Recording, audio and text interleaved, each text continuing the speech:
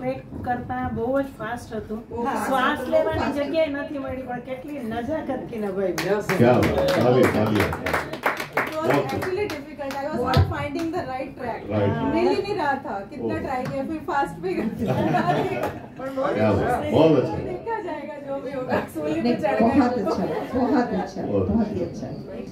अगले मित्र के लिए ना मैं यहाँ पे बैठी हूँ असल में क्या होता है कि हरीश ना हमेशा हॉट सीट पे बैठ जाते हैं और यहाँ पे ऐसे आके खड़े होंगे और बोलेंगे हूँ तो यहाँ यहाँ लप्पा ही छू तो बाहर वैसे भी हॉट सीट पे बैठा राइट राइट आ जाओ भाई आ जाओ એવું થાય ને તો ઈચ્છા થાય છે આવી જાવ ને क्या बोलते हो भाई? ये देखो देखो आए आए आए।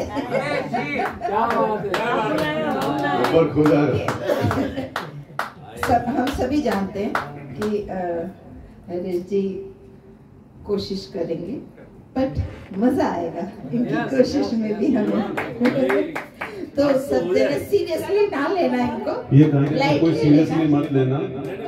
मेरे हर शब्दों को मेरे हर शब्दों को सीरियसली मत लेना। आज मैं क्लेरिफाई कर देता हूँ। मैं क्लेरिफाई कर देता हूँ। मेरे हर शब्द को सीरियसली मत लेना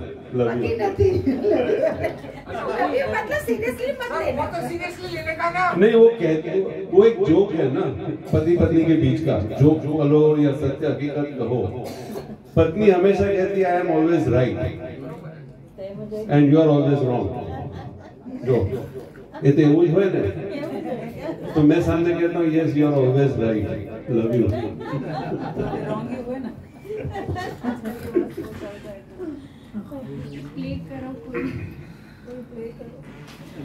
कोशिश कर रहा हूँ आप सब महान कलाकार के बीच में। प्रताप जी तो जानते हैं कभी माइक इस रूप में नहीं उठा